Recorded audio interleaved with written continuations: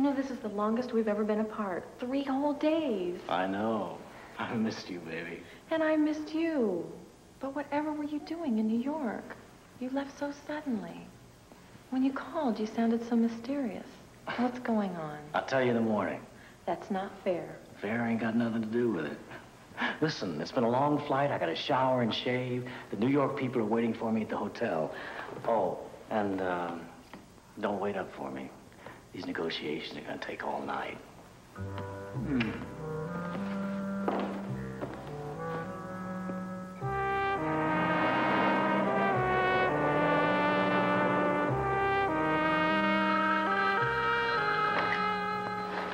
Hello. Philip's back from New York. He just left to meet with the people at their hotel. He said not to wait up for him. I'm coming over. Uh, Terry, I don't know if that's a good idea. I mean, we're very close to getting what we want. Let's not screw it up now. What's wrong? You got another young actress over there you're coaching? That'd be ridiculous. You know I love you. Good. I'll be right over. I won't stay too long.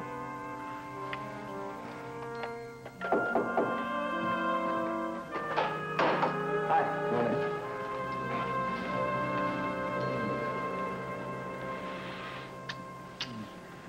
Wait.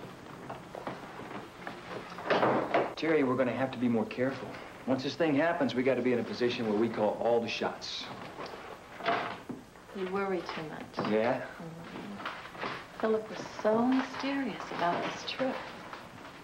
What it was all about. Well, I'm not sure, but rumor has it he's negotiating a merger with one of the big New York agencies. I don't know which one. Great. That makes our pie that much bigger. Well, I certainly hope so. Come here. By the way, Mm-hmm. I saw Laura the other day, the day Philip got sick.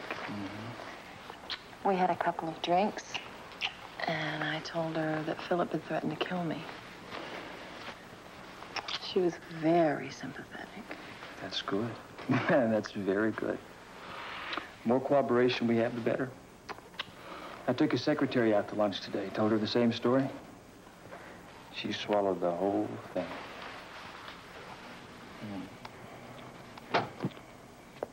Philip! I'm sorry your scenario didn't work out quite the way you planned. I presume this is the correct setting for your final scene? Hmm? The only difference, of course, is the uh, timing. In your version, please correct me if I'm wrong. In the version you planned to tell the police, the enraged, jealous husband confronts the innocent young couple brandishing a gun. And somehow they wrest the gun from the older man and kill him in self-defense. Oh, I can just hear Terry relating that story to the police, tears flowing down her cheeks. She's become quite a good actress. You've done a wonderful job with her, Adrian. Philip! Don't Philip me!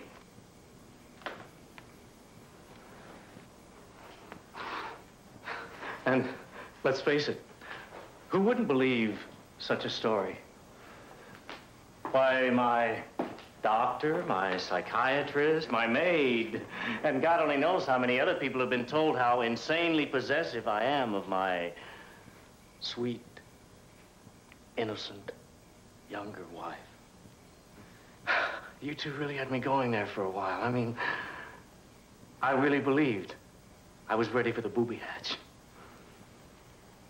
You did a marvelous job with those tapes, Adrian. I'm sorry I have to change your last act. Too bad there's always someone who wants to change a writer's script. Philip! Don't! Philip! Please. It's not what you think.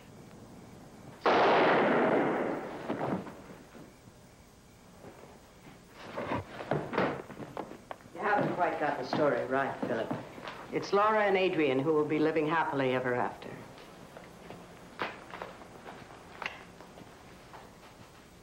Do you remember when we were married, Philip? And I always used to ask you to let me work for you, and you always used to say that my job was being Mrs. Philip Bing. Well, I lost that job two years ago. But I am sure that you will be pleased to know that it is I who masterminded and designed this whole gaslighting scheme. And poor oversexed, under-talented Terry is the perfect tool to get to you. And get control of the agency. You do remember our divorce agreement, don't you, Philip? How your slick attorneys tried to cheat me out of what was rightfully mine. Oh, they gave me that figurehead of a job in New York City, but no ownership, no control. That's why I insisted on the clause that in the event of your death, the agency would become mine. Oh, I could not let you shoot Terry. No. I've waited two very long, lonely years for the pleasure of doing it myself.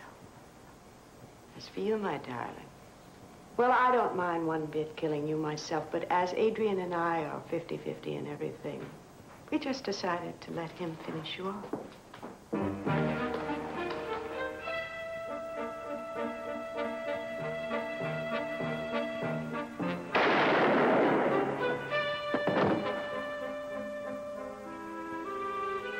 Well, I better get out of here. I'm sure you know what to do with the guns and all. And I trust you remember the story you're going to tell the police. We've been over it many times, my dear.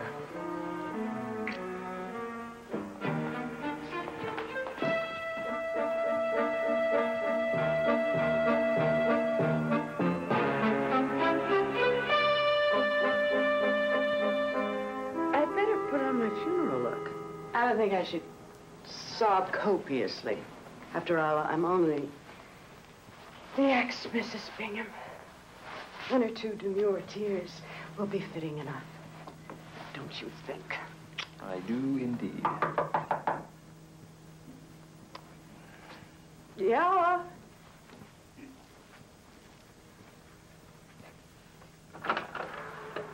Yes. Mrs. Bingham? Yeah. This just came, special delivery. Oh, thank you.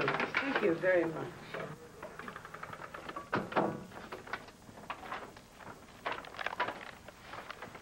What is it? I don't know. For my dearest Laura. You know anything about this? I do not. Well, let's find out.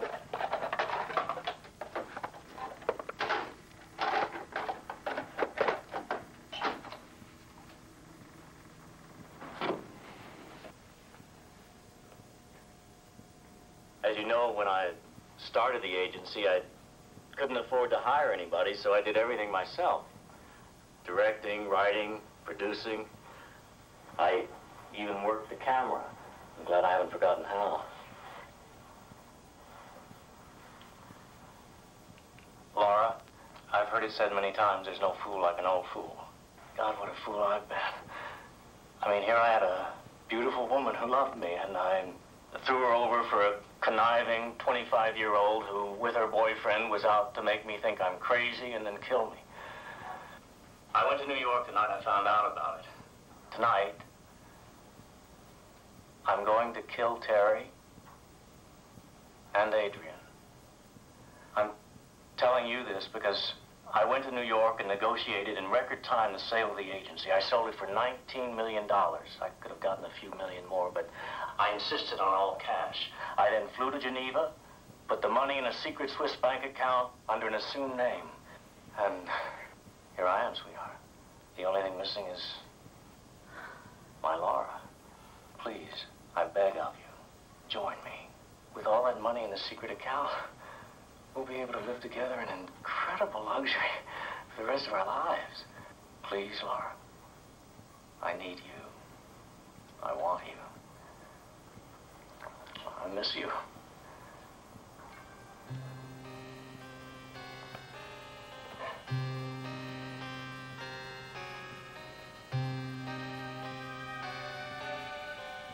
Patience is a bitter blossom that bears a very sweet fruit. Unfortunately, neither Laura Bingham nor Jonah Hastings, the senator's wife, had the patience to wait for the fruit to ripen. I have it on good authority that Laura Bingham is still waiting for that phone call from Philip. In fact, she doesn't have much else to think about in her cell. And I trust you've been thinking about the solution to this puzzle. Let me refresh your memory. A bus driver uh, went the opposite way down a one-way street. At the corner, he went through a red traffic light. There was a policeman at the corner, yet the policeman never gave him a ticket. Why? Why, indeed. The bus driver happened to be walking home after a hard day's work, which is just what I'm going to do. This is Orson Welles. I do hope you'll join me again next time at the scene of the crime. Good night.